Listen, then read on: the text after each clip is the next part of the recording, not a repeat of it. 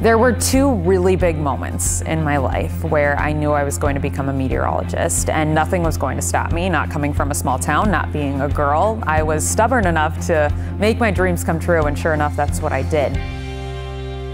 I'm Lydia Blume. I'm from Redfield, South Dakota, and I am the morning meteorologist on WDAY. My day starts at 1.30 in the morning, and then it's hair and makeup and a cup of coffee. And then I'm putting together my forecast, making my weather story for the day. And then I build all of my own graphics for the whole two hour show. And then 5 a.m. hits and the on air light turns on and it's showtime. Good morning. We've got a golden glow out there on the horizon as the sun starts to come up.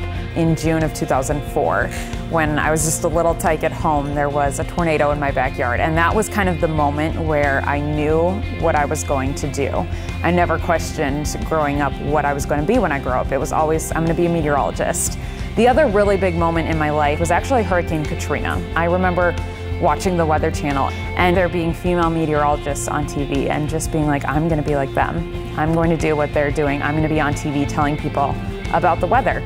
And then I discovered the program at UND, which was just a quick five hour drive north of home, and I was sold. I didn't look at any other schools. I fell in love with the campus, I fell in love with the faculty, the staff, I fell in love with everything about the university.